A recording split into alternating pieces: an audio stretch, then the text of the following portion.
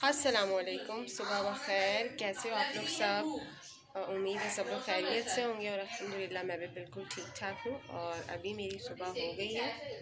आज मेरी छुट्टी का दिन था और जो है थोड़ी सी तबीयत भी मेरी जो है आज काफ़ी डाउन डाउन है और बहुत ही ज़्यादा लेजी सा दिन है। अभी तो उठी हूँ और अभी क्या टाइम हो रहा है? देखते हैं। टाइम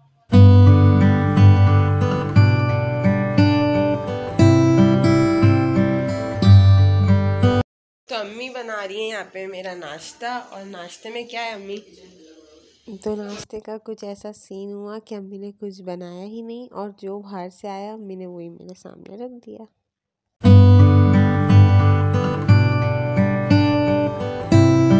आके लेट गई नाश्ते के बाद क्योंकि आज थोड़ी तबीयत भी ऐसी हो रही है। जी तो दोस्तों मैं कर रही हूँ अपने पलंग की क्लीनिंग चादर से कर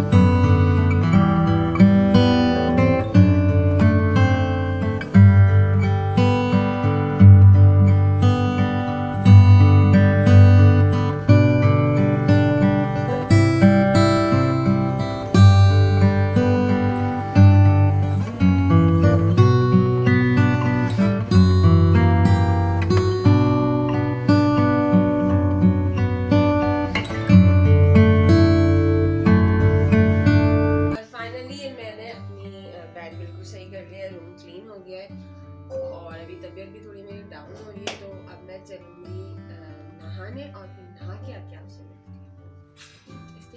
तो दोस्तों मैं नहा ली हूँ और फ्रेश हो गई हूँ और अब मैं जा रही हूँ किचन में देखने के लिए कि वैदा कुछ बना रही है तो वो क्या बना रही है। आइए देखते हैं और आपको भी दिखाते हैं कि आज घर में क्या बन रहा है। कीमा तो जुबैदा क्या बना रही है तुम खाने में? आलू कीमा और खड़े मसूर का पुलाव ठीक है तो यहाँ पे ये बन रहा है और फिर मैंने सोचा स्किन की पैम्परिंग कर लेती हूँ तो चीज़ें रेडी कर रही थी। मैं बना रही हूँ। चावलों का स्क्रब हाथों के लिए और फेस के लिए। और इसकी रेमेडी जो है मैं आप लोगों से शेयर करती हूँ। इसमें हमें फेस के लिए अलग स्क्रब बनाना है और हैंड्स के लिए जो अलग स्क्रब बनता है। तो उसमें क्या क्या डलेगा ये मैं आपको बताती हूँ। तो पहले हम हैंड वाला स्क्रब बनाते हैं। सबसे पहले मैंने इसमें लिया दो टेबल स्पून चावलों का आटा। और अब इसके अंदर मैं ऐड करूँगी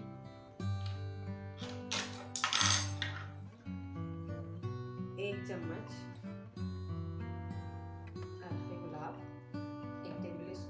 स्पून और फिर मैं इसके अंदर ये जो मीठा सोडा है बिल्कुल एक चुटकी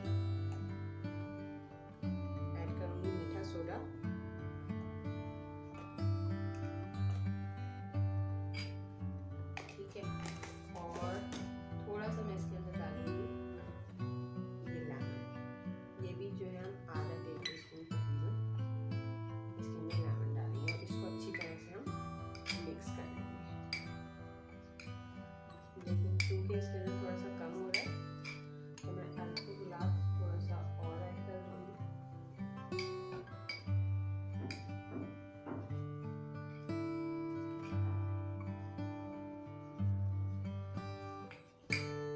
फ़र्स्ट टाइम ये रेमेडी जो है, मुझे किसी ने बताई थी कि हाथ जो आपका ये जो धूप की वजह से थोड़ा सा ब्लैक हो जाते हैं।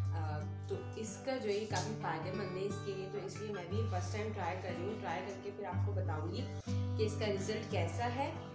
हफ़्ते में इसको आपने दो बार यूज़ करना है। तो करते हैं और फिर इसको ट्राई करके बताते हैं आप लोगों को कि कैसा इसका रिज़ल्ट है।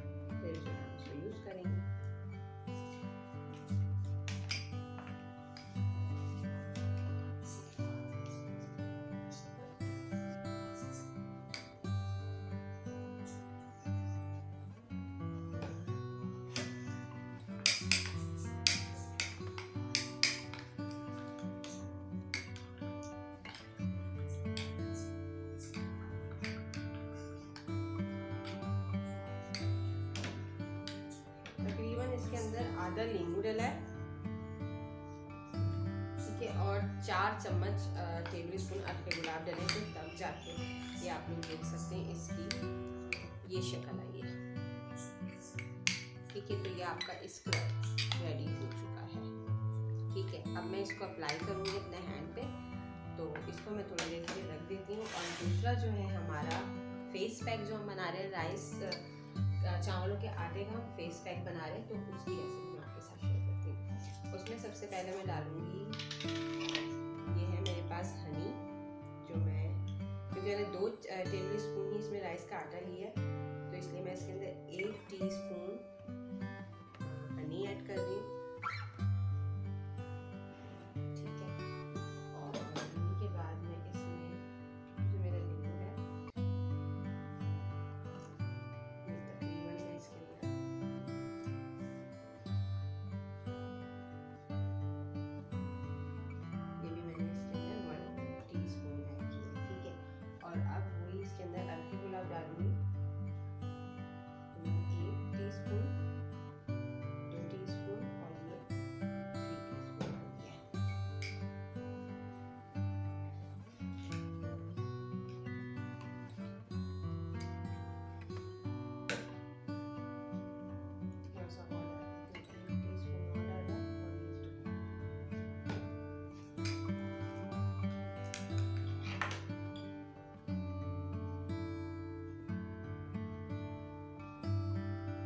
मैं इसके अंदर थोड़ा सा हनी जो है और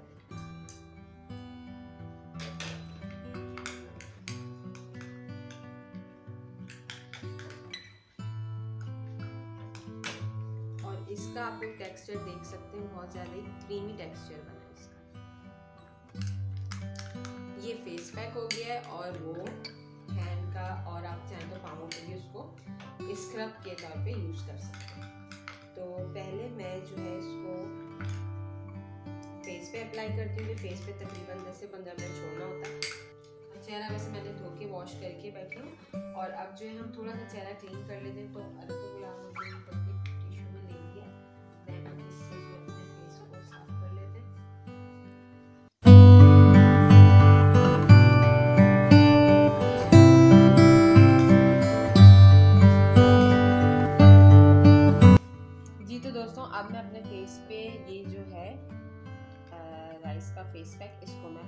पे अप्लाई कर। दूँ तो बेसिकली ये जो होता है वाइटनिंग के लिए होता है फेस वाइटनिंग हो गई, इसके अलावा जो है ये आपके जो चेहरे पे डस्ट वगैरह होती है गर्द उसको जो है ख़त्म करने के लिए होता है। और इसका रिज़ल्ट मैं आप लोगों के साथ ज़रूर शेयर करूँगी। जब मैं इसको कंप्लीट जो है करूँगी, तकरीबन वीक में दो दफ़ा तो फिर मैं आपको इसका रिज़ल्ट दोस्तों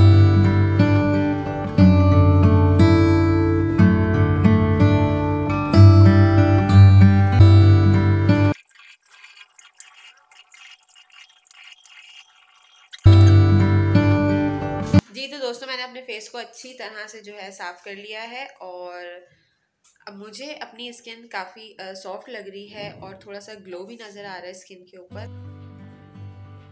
और ये मैं अच्छे से स्क्रब कर रही हूँ। ये जो आप उंगलियों पे अच्छी तरह से कर लें। और पूरे हाथ पे आप करना चाहो तो इसको पूरे हाथ पे कर सकते हो। मैं इसको पूरे हाथ पे ही कर रही हूँ।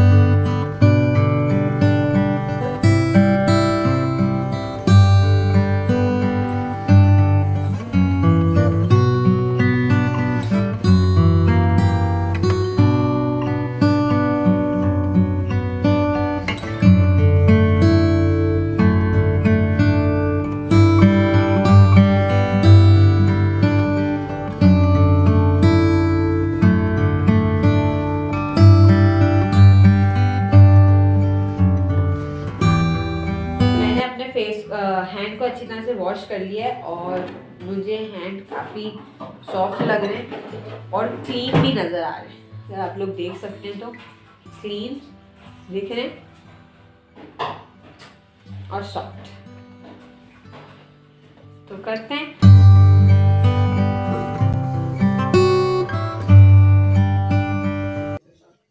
रात के खाने का टाइम हो गया है। मैं, अम्मी और ज़ुबैदा, हम तीनों खाना खा रहे हैं।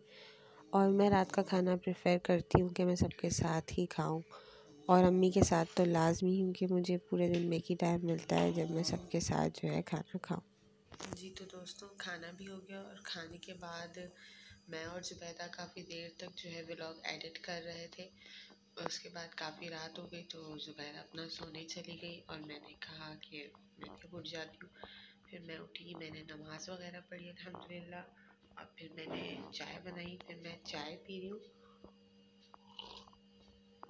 और चाय पी के जो है फिर मैं अब सोऊँगी। तो मैंने कहा ब्लॉग की एंडिंग भी ले लेती हूँ। तो आप सब लोग अपना बहुत सारा ख्याल रखिएगा और मुझे दुआओं में ज़रूर याद रखिएगा। और मेरे चैनल को प्लीज़ सपोर्ट कीजिए, मेरे चैनल को सब्सक्राइब कीजिए लाइक कीजिए और शेयर कीजिए। और अपना बहुत सारा ख्याल रखिएगा। फिर मिलेंगे इन तब तक के लिए अल्लाह हाफिज़, शब खैर